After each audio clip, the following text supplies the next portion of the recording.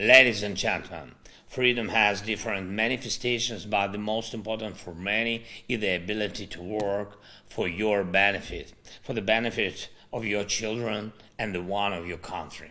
In Ukraine, we are fighting for everything that you have. We stand so that every Ukrainian would enjoy all the manifestations of freedom available to a free person in a democratic society. We have achieved significant results. We have united the whole world around our struggle for freedom. We are liberating Ukrainians' territory from the Russian army. We have already started renovating everything that was destroyed by the Russian terror.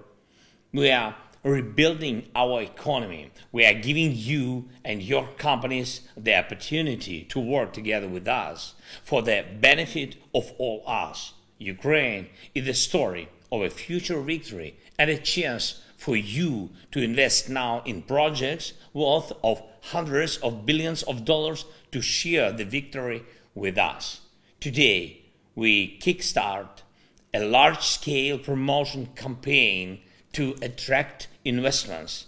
Advantage Ukraine.